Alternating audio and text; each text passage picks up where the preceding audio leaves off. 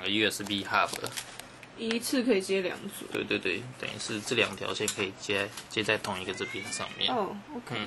所以它总共可以接八组嘛？对，总共可以八个扩充，然后像这一种就是做好的，好。做好的一样就是就直接插着就可以了，所以就可以用。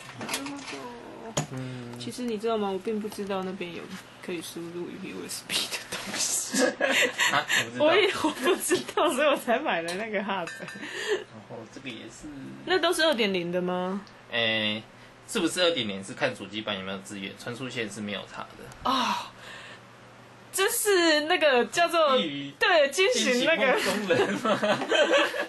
嗯扎贡好，apparently 这个都二点零。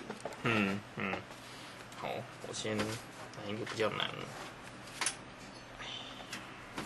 较比较复杂的就是，看一下这个嗯，这一个地方是接，绿色的对对对，绿色是接前置版的影音输出跟输入。OK，so、你怎么知道嗯，他要接什么线？线怎么要样？要研读一下我哦们，的。是。研读这个叫说明书。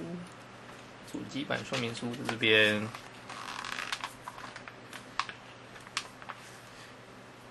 前置音源插座，嗯，嗯，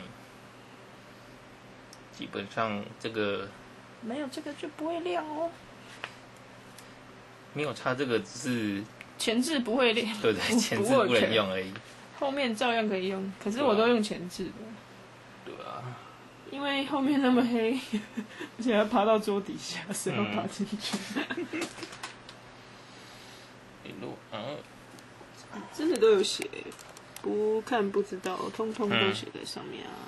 对啊，这个比较麻烦了，看一下，嗯，这个救一下，好，